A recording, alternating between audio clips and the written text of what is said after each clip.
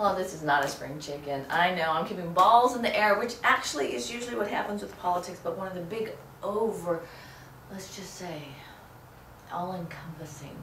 Well, it makes you feel like you got drowned out, but that's not, how should we say?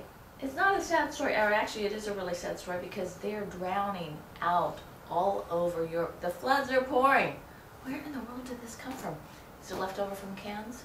Who knows? But meanwhile, we're going to bring Oldecam on with comments on the headlines of today. All over for the Republicans. Well, yeah, because according to the news this morning, all the Republican governors, all the Republican congressmen, and all the Republican senators, and all Republican ran governments in the state in the United States are all on the verge of being thrown out of office in the 212 in the 214 election because one, they're racist. Two, because Obamacare is so popular that the people are all rushing to get it, and also because the Republicans, instead of paying attention to business, are focusing on things that no one cares about, like Benghazi, the IRS, and the press. Mm -hmm. And uh, and if anybody believes that, they believe that BS is really an animal.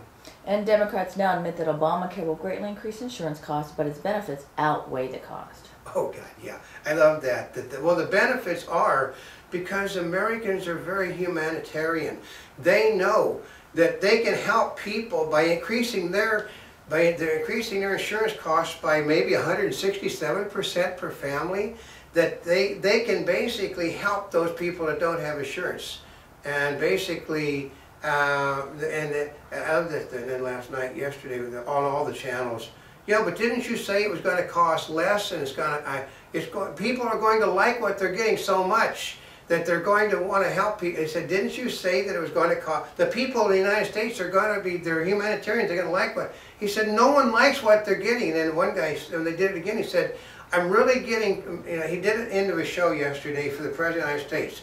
He said, if you keep sending people here with talking points and they stick to it, they're not coming back and they've got something else to say. He said, this came from the dreaded Fox News.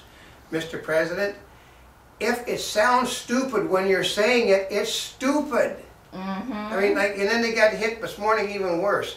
67% of, and, and the Democratic polls now said 67% of those people that the raise and, and that you're going to get your premium raised so that they can have health care aren't going to take health care because as one guy said, I wasn't paying for health care before. Now I gotta have now I'm gonna have to pay four or five thousand dollars a year with subsidies for health care for my family. I said if I had money I could get it less from an insurance company than I can get it from the president. So I'm not gonna buy it. And he said, sue me. And Democrats, since Bush did it, is all right for Obama to use IRS against people? Yeah, I love that. They said Karl Rove went ballistic about it when, he, when they pointed out the fact that George Bush was using the IRS well, let's see, we'll put it simply this way. When George Bush found out that people in the IRS were going after his enemies, George Bush fired him and ordered him to testify before Congress without the Fifth Amendment. Mm -hmm. That's different, isn't it? Mm -hmm. They got fired, they were ordered to testify. That's not how Obama is doing it. Obama's not only not firing them, he's he's basically giving people paid vacations that to keep them shut up. And Obama expected to overrule the Constitution and sign an arms treaty that removes the right to bear arms and turn the control of weapons over to the UN. Oh yeah, they, he has been told 60, over 60% of the Democrats in the Senate have told him he has no authority to do what he's doing. The right to make treaties is, is a, the right to, to do the treaty approval is the object of the Senate of the United States. The Constitution gives that to the, uh, to the Senate. It does not give the President the power to make to sign agreements. He's already signed it once, and they told him no. But today, because he can't get, uh, he cannot get weapons control in that he wants, he's going to sign the agreement that basically the these people that basically have signed it, they're not the Russians, they're not the Chinese, they're not the British, they're not the French, they're not the Spanish, they're third world company countries, and they actually believe it.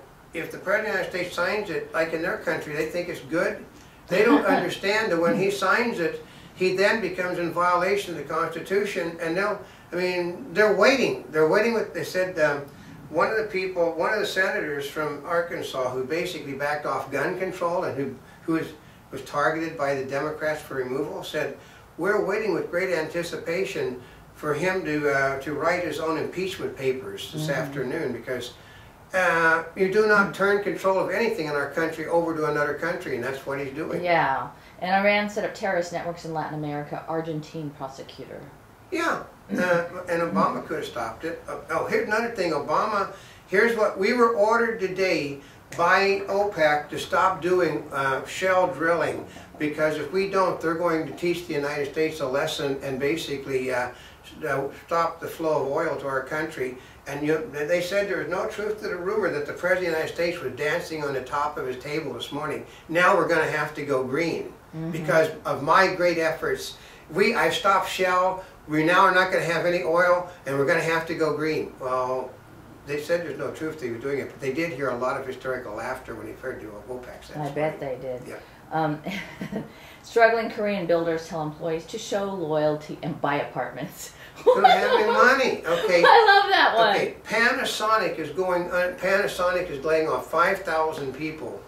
Um, and the Korea, South Korea is having a problem because people, if, okay, they depend upon the sale of electronics and automobiles. If people aren't buying worldwide, they can't run their businesses, which means they can't afford to hire people, which means they're going down the tanks, folks. Mm -hmm.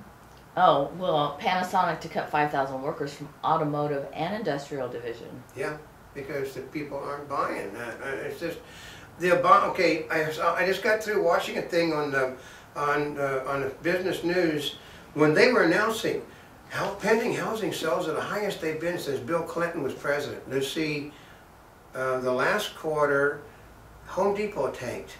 Lowe's tanked. All the home improvement places tanked. The places that supply construction material are down. There is no orders for in, their inventory is down because no one's ordering.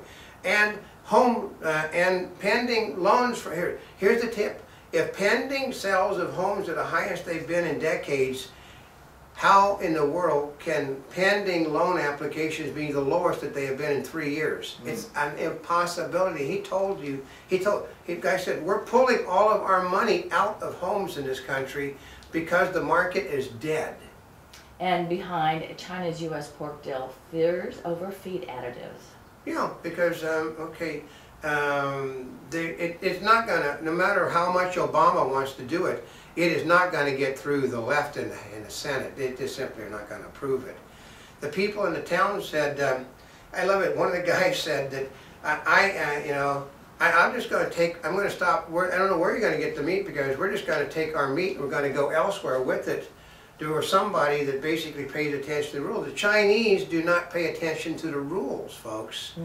They don't have, they don't have the checks and balances. I mean, I think somebody said four billion dollars worth of food products was, was um, thrown away from China last year because it didn't meet specifications in our country. Oh my gosh. And uh, that more or less, one of the people from Smith, the, the, the city where this stuff was from, said they're buying us to shut it down. That's the reason why, because they said the president doesn't think it's healthy, because the president doesn't think it helps the, and they're gonna sell it for four billion dollars to the Chinese government. The Chinese government is then going to face that, well, we've invested it, we're not gonna get our money back, so we're gonna shut it down. Mm-hmm. Which puts all of those people in that city out of work. and, and then Obama's supposedly not responsible for it, That's right, right? The Chinese government did it to you. yep.